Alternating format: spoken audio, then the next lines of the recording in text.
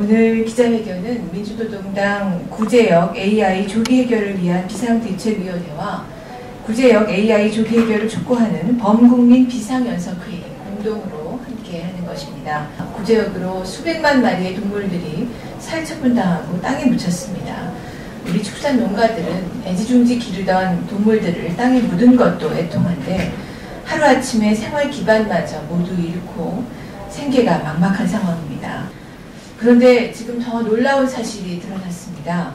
정부가 구제역으로 살처분한 농가에 지급하기로 한 보상금을 지급하기는커녕 농가의 귀책 사유를 따져서 살처분 비용을 차등 지급하도록 했다고 합니다. 방역 수칙을 위반한 농가를 고발하고 살처분 보상금을 60%까지 감액한다고 합니다. 구제역 발생 원인조차 파악되지 않았는데 도대체 어떻게 귀책 사유를 묻는다는 것인지 매우 의문입니다.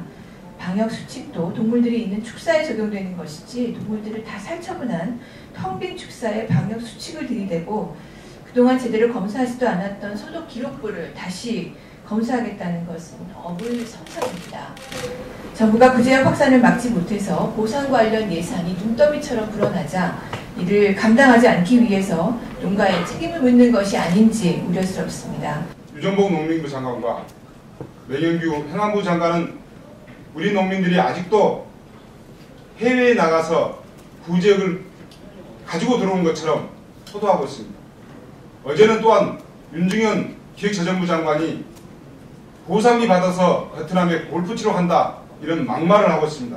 축산농가에 대한 보상금 지급을 보상금 지급을 설 전에 신속하게 집행하라. 구제역 발생 60일이 넘도록 이번 구제역 사태의 원인조차도 규명하지 못하는 정부가 그 책임을 축산농민에게 떠넘겨 민족의 최대 명절인 설을 앞두고 자식들 얼굴도 못 보는 피맺힌 농민들의 가슴에 대못을 받고 있습니다.